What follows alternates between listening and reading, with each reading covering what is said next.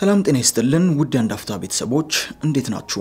የአንድ አፍታ ልዩ ጥንቅራችን ጀምሯል። አቶ እስክንድር ነጋ በትላንቱ የችሎት ውሏቸው በሀገሪቱ ሰላምና ደህንነት እንዲመጣ ከተፈለገ በዋስትና ወጥተን በመጪው ምርጫ መሳተፍ አለብን ማለታቸው ተሰምቷል። እኛም ኢትዮጵያ ኢንሳይደርን ዋቢ አድርገን በትላንትናው ዕለት የነበረውን የችሎት ውሎ የሚመለከት መረጃ እናደርሳችኋለን። አብራችሁን ቆዩም።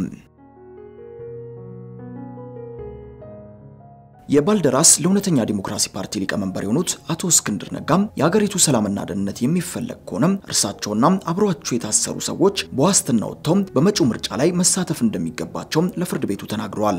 አቶ እስክንድር ይህን ያሉት የዋስትና ሊፈቀድላቸው እንደማይገባም አቃቤ ሕግ በፌዴራል ከፍተኛ ፍርድ ቤት ላቀረበው ክርክር በሰጡት ምላሽ ነው። በትላንትናው ዕለት መስከረም 7 ቀን 2013 ዓ.ም ፍርድ ቤት የቀረቡት አቶ እስክንድርና ሌሎች አራት ተከሳሾች በአቃቤ ሕግ የቀረበባቸው ክስ ሲነበብ በችሎት ሆነው ተከታትሏል። በሌሉበት የተከሰሱ ሁለት ተጠርጣሪዎችን ጨምሮ በሰባት ሰዎች ላይ አቃቤ ሕግ ክሱን የመሰረተው ባለፈው ሳምንት ሐሙስ ቢሆንም ክሱም በችሎት በንባብ አልቀረበም ነበር። በፌዴራል ከፍተኛ ፍርድ ቤት የጸረ ሽብርና ሕገ መንግስታዊ ጉዳዮች አንደኛ ወንጀል ችሎት የተነበበው 13 ገጾች ያሉት የአቃቤ ሕግ ክስ ሰነድ በሁለት ተከፍሎ የቀረበ ነው። አንዱን ወገን በሌላው ላይ በጦር መሳሪያ እንዲነሳ በማነሳሳት በመንግስት ላይ የሚደረግ ወንጀልን የሚመለከተው የመጀመሪያው ክስ በአቶ እስክንድርና በሌሎች አራት ተጠርጣሪዎች ላይ የቀረበ ነው። ሁለተኛውና የሽብር ወንጀል ለመፈጸም መሰናዳት የሚለው ክስ ደግሞ አቶ እስክንድርና በሌሉበት የተከሰሱ ሁለት ግለሰቦች የተወነጀሉበት ወንጀል ነው። በሌሉበት ጉዳያቸው እየታየ ካሉት ከነዚህ ሁለት ግለሰቦች መካከል በክስ ሰነዱም በሰባተኛ ደረጃ በተቀመጡት ግለሰብ ላይ አቶ እስክንድር ያላቸውን ጥርጣሬ ለፍርድ ቤቱ ባቀረቡት አቤቱታ አንስተዋል። አቃቤ ሕግ አቶ ፍትዊ ገብረመድህን የተባሉ እነኚህን ተከሳሽ የመረጠው ፖለቲካዊ ግርታን ለመፍጠር ነው ብለዋል።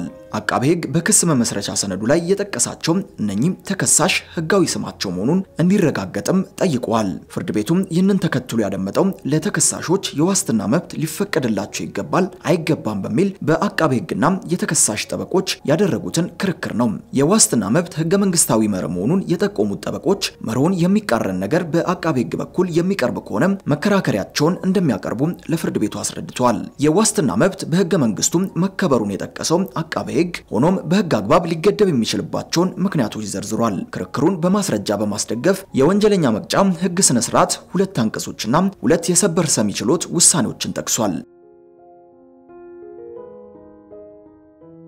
ተከሳሾች የፈጸሙት ወንጀል ሞት የሚያስፈርድ ከሆነ አሊያም 15 ዓመትና ከዚያ በላይ በሆነ ጊዜ በጽኑ እስራት የሚያስቀጣ ከሆነ ዋስትና ሊከለከል እንደሚችል አቃቤ ሕግ ለችሎት አስረድቷል። ተከሳሾች በቀረበባቸው ክስ ላይ ለ14 ሰዎች ሞትና ከ187 ሚሊዮን ብር በላይ ለሆነ የንብረት ውድመት ተጠያቂ መሆናቸውን የገለጸው አቃቤ ሕግ ይህም እስከ 25 ዓመት ሊያስፈርድባቸው እንደሚችል አብራርቷል። አንደኛ ተከሳሽ የሆኑት አቶ እስክንድር ከዚህ በተጨማሪም የተጠቀሰባቸው የሽብር ወንጀል ክስ 12 ዓመትና ከዚያ በላይ የሚያስቀጣ መሆኑም አመልክቷል። አቃቤ ሕግ ተከሳሾቹም ዋስትና ቢፈቀድላቸውም ሌላ ወንጀል ሊፈጽሙ እንደሚችሉም በማንሳት ተከራክሯል።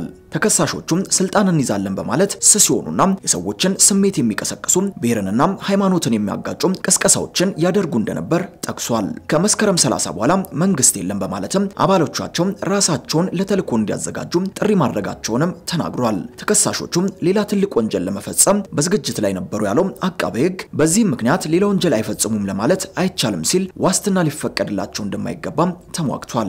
የዋስትና ጉዳይ መተርጎም ያለበት ከወንጀል ሕጉ ዓላማ አንጻር ነው ያለው አቃቤ ሕግ የወንጀል ሕጉ ዓላማም የሰዎችን ሰላምና የሀገርን ደህንነት ማስጠበቅ እንደሆነ ገልጿል። ተከሳሾቹም የፈጸሙት ድርጊት በሰው ሰላምና በሀገር ደህንነት ላይ ከፍተኛ አደጋ የሚያመጣ ነው ሲል ለፍርድ ቤቱም የተናገረው ከሳሽ አቃቤ ሕግ ለተከሳሾቹም ዋስትና መፍቀድ የሀገርን ደህንነት አደጋ ላይ እንደመጣል ነው ሲል ተከራክሯል።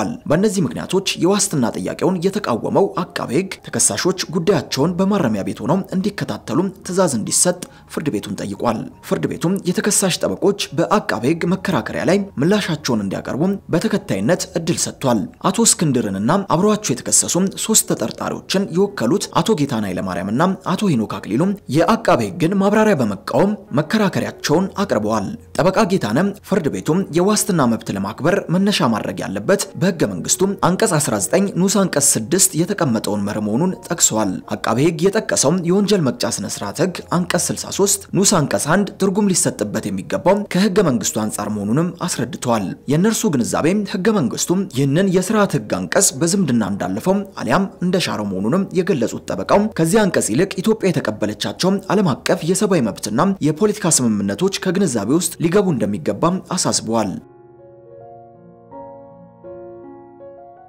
አቃቤ ሕግ ከስነ ስርዓት ሕጉም የጠቀሰው ሌላው አንቀጽ 68 ቢሆን ከደንበኞቻቸው ማንነት ጋር አብሮ የማይሄድ መሆኑን ጠበቃው አመልክተዋል። ተከሳሾቹም ቋሚ አድራሻ ያላቸውና በህጋዊ መንገድ የፖለቲካ ፓርቲ መስርተው ሀገርና ሕዝብን ለማገልገል እየሰሩ ያሉ መሆናቸውንም አንስተዋል። ከዚህ በተጨማሪም ደንበኞቻቸው ደረቅ ወንጀል በመፈጸም የሚታወቁ እንዳይደሉም ጠቅሰዋል። በዚህ መሰረት ፍርድ ቤቱም ከስነ ስርዓት ሕጉም የቀረቡ ሁለት አንቀጾችን እንዲያልፋቸው ጠይቀዋል። ተከሳሾቹም ሌላ ወንጀል ለመፈጸም ይችላሉ በሚል በአቃቤ ሕግ በኩል ለቀረበው መከራከሪያ ጠበቃው ምላሽ ሰጥቷል። ወንጀል አይፈጽሙም ብሎ ለማመን አስቸጋሪ ነው ተብሎ በቀረበ ምክንያት አንድ ሰው የዋስትና መብቱን ሊያጣ አይገባም ያሉት አቶ ጌታነም ይህንን በተመለከተ በስነ ስርዓት ሕጉ ላይ የተቀመጠውን ቢሆን መተርጎም ያለበት በጠባቡ ነው ሲሉም ተከራክረዋል።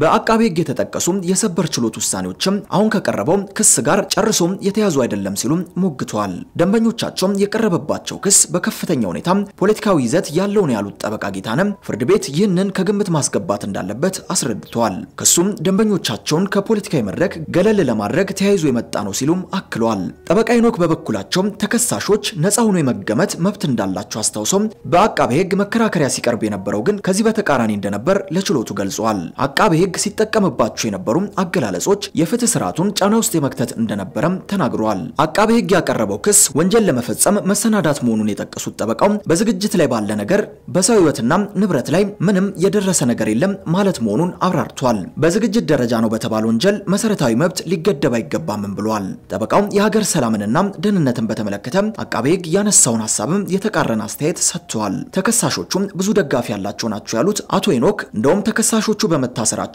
ሀገር አትረጋጋም ሲሉም ለችሎቱ ተናግረዋል። በሀገሪቱም በየቀኑ ሰው እየሞተ መሆኑን ያስታወሱት ጠበቃው ይህ እየሆነ ያለው ተከሳሾቹም ባለመታሰራቸው አለመሆኑን ጠቁመዋል።